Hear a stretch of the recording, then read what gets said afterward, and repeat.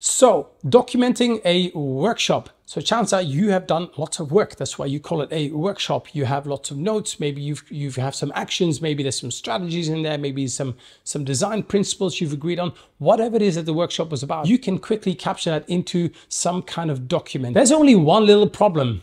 Nobody reads those. Really, nothing happens with those. I've sent so many over the last so many years. Nobody reads them. Nobody does anything with it. There is no follow-up. But it doesn't have to be this way. So let's look at a better way to capture some of the output of a meeting of a workshop and then turn it into something that you can take forward and will actually lead to not only actions from the client side, but will get you a step closer to that client as well, assuming you still want to work with them.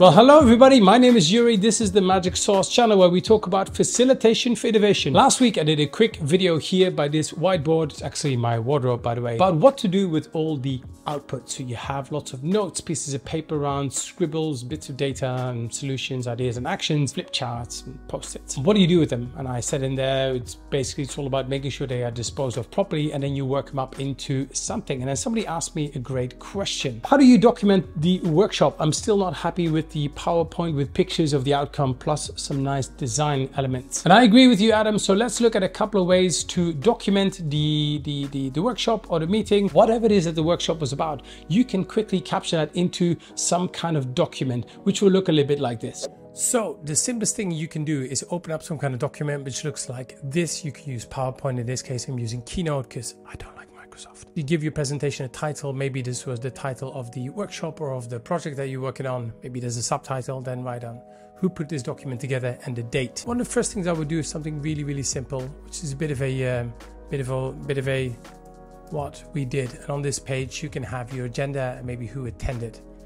Just a quick overview so you know what happened during your workshop, during your meeting. I think there's then another slide with kind of uh, in more detail. So you then take the key chunks or the key activities of that meeting and you work them up a bit more. You tell them what we, why we did it, what we did, how we did it, and then maybe some of the findings. Which then could be another slide which have something like um, uh, what we found. Maybe this is insights. Maybe this is kind of the, the key designs that you agreed on. Maybe these, maybe this is the, maybe this is the the, the, the strategy. Maybe this is like the, the things that the bigger chunks of things that need to be done. And I always have a very simple slide that says something like next steps, some kind of action points. You probably agreed on something, who does what at the end. And in the addendum, you can put maybe all the raw data in there. Maybe you could put all the extra ideas in there. Maybe you could put a couple of pictures in there, etc., etc. Now you can make it really pretty by adding design and pictures and all that good stuff in that. But at its core, that's basically what it is.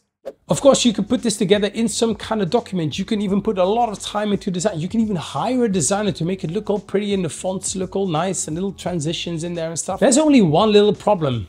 Nobody reads those. Chances are that document will just end up in that little folder in your computer that says to be read later. And if somebody's even a bit more rude than that, they will hit that magical button we call delete. Nobody ever looks at it. If nobody looks at it, that might mean that a lot of energy is wasted. It also means that you're probably not going to get invited back because nobody's really seen any real results coming from your workshop or from your meeting. So let me give you three simple ideas around output to really increase your chances of success, not only for yourself, for the client as well. First one, ask ask questions before you even get started. You already should already be clear about the the outcomes per se, but also ask about output. What is the output that they are looking for? You can always ask them for an example, or if you have a couple, you can bring in a couple of examples. You can say, well, we've done this. It could be a document that looks like this. It could be a little video like that, or it could be just a couple of renderings, some, some drawings, something like this. But give the client something to respond to so you all are on the same page when it comes to the output that needs to be delivered. And of course, keep track of your hours because if you need to hire, let's say, a visual artist to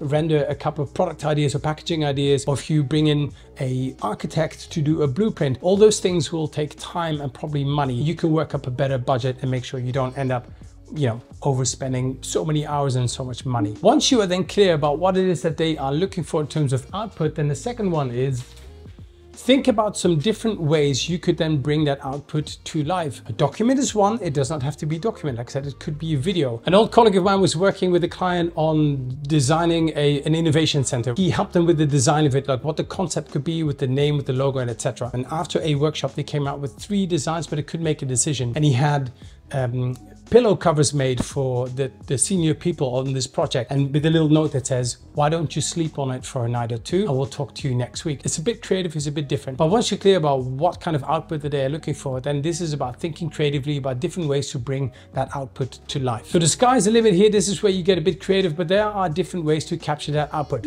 And then the last one then here is set a time. This is about setting a time so you can take the client through the output of that workshop, of that meeting, which is a great way for you to follow up with them and be a bit more strict with us. When they're asking you to just send it by email, you say, I, will have it ready by whatever Tuesday. Tell me when is a good time to give you a call because I want to talk you through it. As a great way to make sure that actually your output gets seen, you get some feedback from that client. and you can also then discuss the next steps. Great way to get a foot in the door. It's also a great way to make sure the conversation keeps going. Never just send something by email. Don't just send, they will just, you know, to be read later.